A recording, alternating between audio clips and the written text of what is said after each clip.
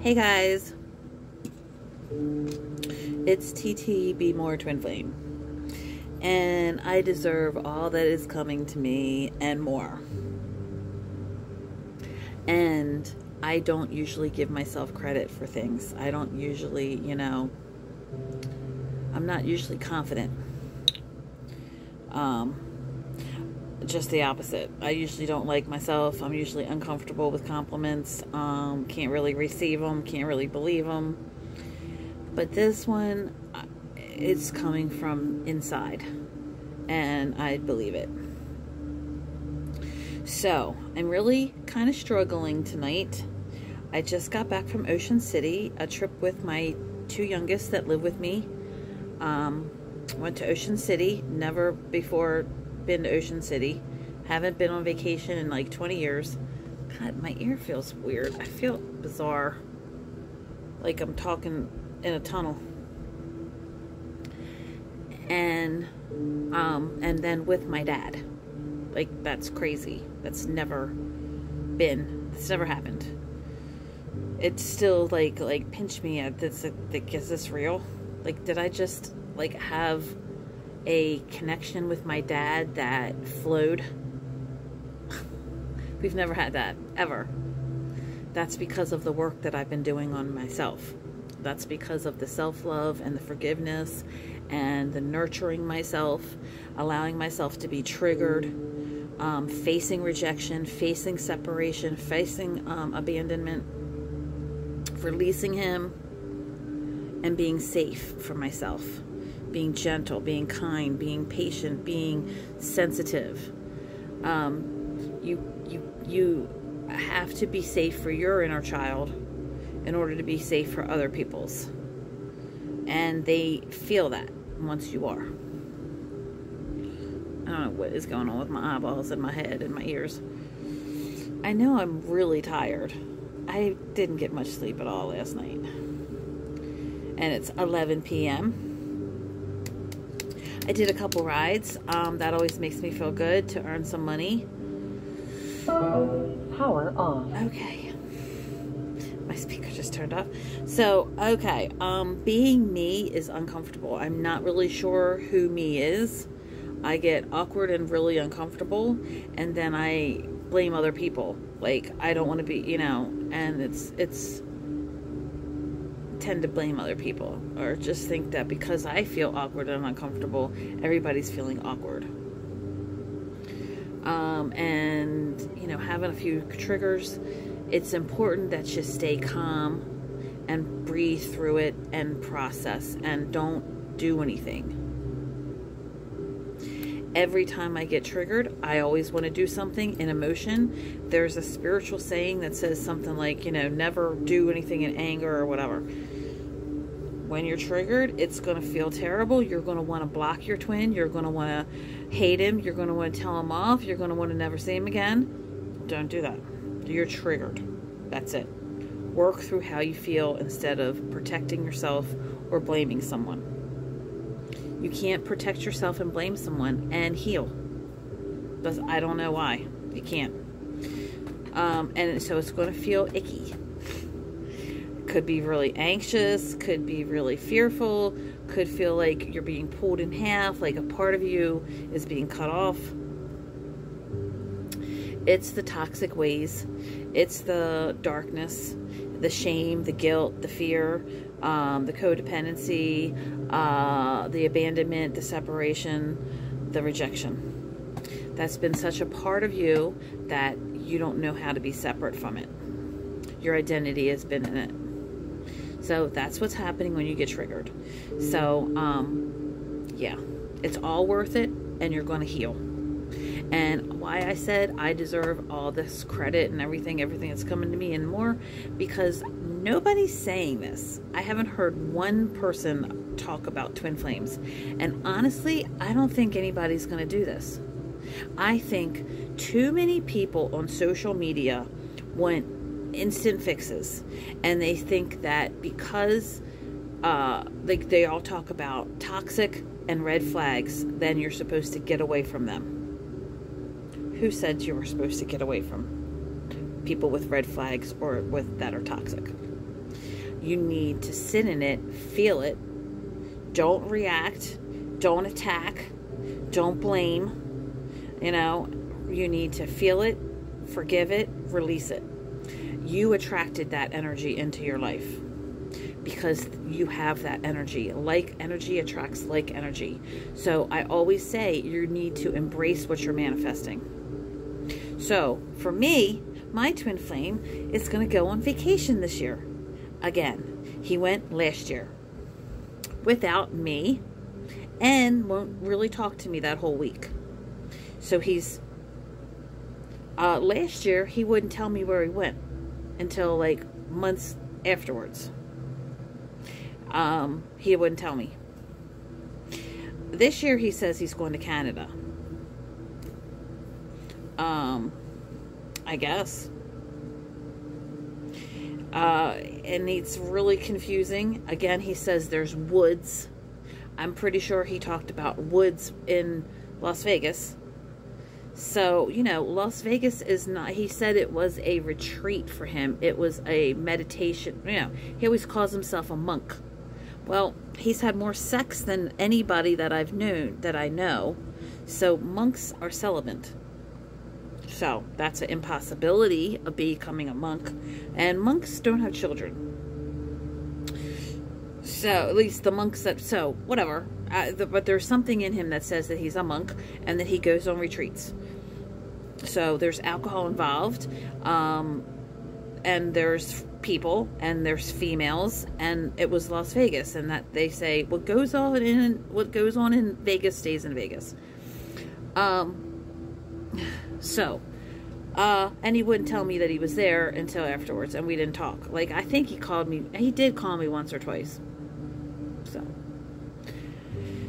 um so it's really hard for me right now because he's, you know, gearing up, amping up to go to um, vacation. I don't know when he goes because he's really all over the place. And we're both like that when we talk sometimes. And I don't know exactly when he wants to go. And it's kind of anxiety for me. Um, it hurts that he doesn't want to go with me and take me and include me. And he's not all lovey dovey towards me and all, you know. He goes, four days or so every week without talking to me. He talks to me like three days a week, four days a week. Uh, it varies, but there's, there's, you know, um, this this past weekend it was Saturday, Sunday. I didn't talk to him Saturday, Sunday, Monday, and I talked to him Tuesday. So Saturday, Sunday, Monday. That's three days. I don't know if I talked to him Friday or not. I think, but I'm not sure it just, my whole weekend was so long. So it's not like I'm keeping tally or keeping track, and we're not in a relationship, but it's just, what are we doing? But the universe knows what we're doing. It, it does. We, it seems like we're stuck in some weird place of friends with benefits, of casual. Um, so I hate it, but we're not stuck. There is a purpose for everything. Um, there is no thing, such thing as being stuck. Um, there's layers. So, um, do I trust him? Yeah, I don't even care, honestly. I mean, I, I guess at this right now, I don't even care. I can't control it. Um, last night, Source said, not what it had nothing to do with Steven, my twin flame. It was, um, Source said, all you can do is love people or not. And that made sense to me. Um, Source talks to me a lot as I sleep and go in and out of, like, I wake up a lot and I get that dream like, you know, drifting off. That's when I get a lot of communication. That's like meditation and it was like, all you can do is love people or not. It's your choice. You don't, of course, you always, always, always have a free, a free will. So, you know, you can't control what people do and you can't control people love you back. I mean, honestly, you can manipulate them. You can force something. You can give ultimatums and, and force, and that's using manipulation. Um, and I wouldn't recommend using manipulation So this is why I don't think many people are going to be with their twin flames. I don't even really know if I'm going to, but nobody's going to will going to be willing to endure the patience and the pain. Everybody's instant and red flag by uh, trigger definitely by toxic by you know everybody is ready to labor label labor label another person narcissistic um, whatever instead of looking at themselves that that's what they're manifesting. So you know my twin flame he called me today. Um, it was okay. Uh, you know but he talked to, he won he won $700 on a game and he said he was up all night because he couldn't sleep and he was happy because he was so happy um, he didn't tell me what he did on his day off because he has monday off didn't hear from him or see him or I, I just it, okay, he doesn't answer to me. I know. So I, I know. It's just I miss him. I want to see like and I'm tired of being that one that misses him. I'm tired of being that one that wants to see him. I want it so whatever. It's so I was like, uh, okay. Meanwhile, part of me has really been struggling. My friend Josh said something about me making twenty thousand a uh, a month, and he kind of like blessed me, encouraged me that soon I'll be making 20,000 a month. And I thought, how can he do that? How can you genuinely want somebody else to do better than where you are right now? I, I have I have a hard time with that. So, but I believe that law of attraction is you need to find contentment with what is before what is will change. So, um, that's law of attraction. So, how do I feel content with myself and my money situation? And that was actually how my weekend with my dad was. My dad in the past has has given me money, has helped me and helped me um, financially and he even changed the date of this ocean city at the last minute because of his dementia he couldn't he didn't remember that he told me last next week instead of this week and so i had to scramble at the last minute and go and he even said i even said dad i don't have any money and he said i have money but of course my kids i want to take them to the boardwalk and do stuff with them that he wasn't doing so I had to pay money, spend money, and I pulled out my credit card. Luckily, I have one that I just got, and that's what I used. So it was a struggle for me to be like, uh, to have faith in myself and my own money and my own wealth and prosperity, my own law of attraction for me. Instead of, you know, say something to my dad and get money from him or whatever that was a struggle. Why was it a struggle? It just was. I really didn't want to use a credit card. I really don't want to be not paying that off. And so, anyway, so. But I've changed. I'm not putting pressure on myself to make money. I just let it go to the universe. And I say, the bills are paid on time. They're paid. I have more than enough money. And I just show up but I can't create rides from Lyft and I can't create people that, you know, I can't create money for myself. The universe has to do that. I have faith in it and I'm going to show up, but ultimately, I just trust the universe with that. And I'm getting better. I didn't want to keep struggling and striving with money. So, um, hmm. And so then there goes my twin flame with he just won seven hundred dollars right before, and he's going on vacation, and yay, good for him. And I, it's hard. I wanted him to give me some of that money, share it with me. So that's not right. Um, you know, so I choose to be happy for him. Oh God, heartburn. I choose to be happy for him. I choose to believe in myself. And even though I don't see it, I believe in it for myself and I set him free to do whatever he wants with that money and to be happy. And that is really, I feel like, essential in your twin flames, in, in relationships, period, is no more uh, manipulation, no more, you know, jealousy or whatever. Let people want to let them do what they want to do, whatever makes them happy. Let them figure it out by their own heart, by their own conscience, by their own, you know. So that was a stretch. I'm just being honest. I'm just being transparent. I'm not a monster. I'm a regular person, but these are the things that I've struggled with is like codependency and and being having faith in myself and not leaning or relying on other people. So that's how it went today. And today on the phone this past couple days with my dad and today on the phone with my twin flame and I'm tired. Um sitting here trying to be good to myself, made something food for me and the kids. I'm feeling a little lonely, but I'm also embracing that this is my life, this is my home, and we all have to live our own life. Um, and I overate. Um, you know, I, I still tend to overeat. So, but I believe that as I continue to heal, that will heal as well. Um, and, you know, I'm accepting myself. I think that's more important than pushing and forcing.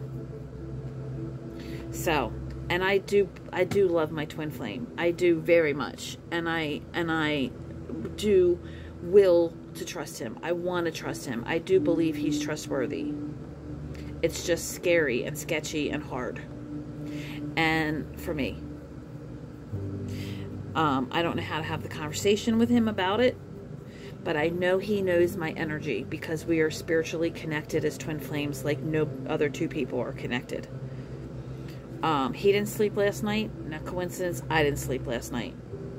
Um, so we definitely feel each other's energy, probably at a subconscious level, but subconscious is big. That's a big deal. Um, I was thinking today that my kids, he would love my kids. He would get along so well with my kids. And then I was thinking, and it's funny, I really love his kids. That must be a twin flame thing. Um, and then what I talked about, about accepting what you're manifesting right now. We are not boyfriend and girlfriend. We are not in a relationship. He doesn't, uh, we don't see each other's kids. We don't, you know, and, and that's what I'm manifesting and so I'm going to feel that. That's what that's what love equals to me right now. Um, I'm watching Schitt's Creek and and Grey's Anatomy, and they're all about love and relationships and romance. And oh my gosh, I get so lonely. Um, and I also said to my twin flame today, I am so lonely at times I can't stand it. Like it's it's horrendous. And but I I felt like I said it like it was his, like he needs to fix that. you know, like, and he doesn't. I'm not his responsibility. I'm not. So that's what's going on is me choosing to love myself, to accept myself, to um, be face to face with my, you know, weaknesses, uh, flaws, insecurities, toxicity, and choose to, you know, be willing to change and to do things different and to let freedom be the guide. Freedom, free will, and freedom. So, thanks for listening. Um, thanks for listening.